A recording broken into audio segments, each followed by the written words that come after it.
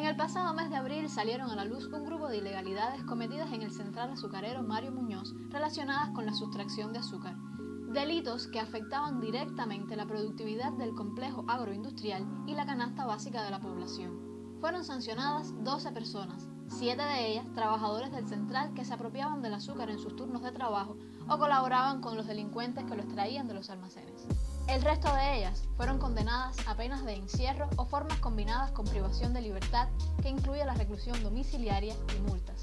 Al castigo se le suma el trabajo correccional sin internamiento bajo el estricto control y vigilancia del juez de ejecución y las demás organizaciones que participan en el proceso. Es válido aclarar que en todos los casos el producto sustraído fue recuperado. El hecho más reprobable relacionado con el central Mario Muñoz, establecido por la Sala Segunda de lo Penal del Tribunal Provincial Popular de Matanzas, fue un delito cometido por un joven acusado de 23 años, quien trabajaba como custodio en el mencionado complejo agroindustrial. Mientras el joven trabajador cumplía sus funciones, fue contactado por un grupo de delincuentes quienes le propusieron la suma de 3 mil pesos cubanos a cambio de que les permitiera acceder al almacén de azúcar refino que éste custodiaba para tomar tres sacos de azúcar.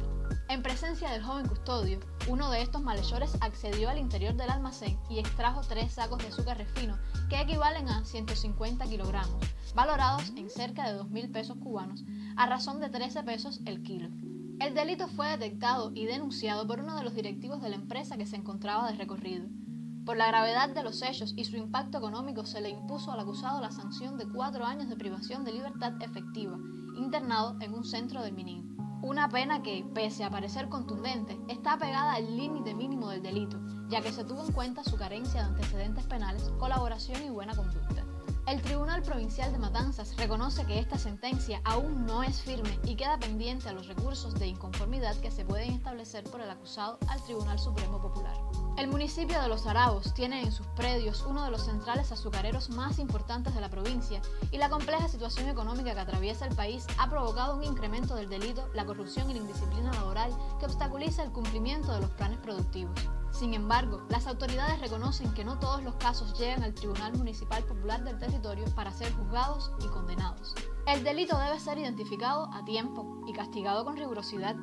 La solución tiene que ser multifactorial y contundente. Lo dijimos ya una vez en esta sección y lo repetiremos las veces que sea necesario. Los que deben tener miedo son los delincuentes. Con este video comenzamos una nueva temporada de Foco de Atención. Si te gustó, dale like, compártelo con tus amigos y déjanos en los comentarios de qué temas te gustaría que habláramos. Y por supuesto, como casi siempre, te dejamos en la descripción un texto completo sobre este tema.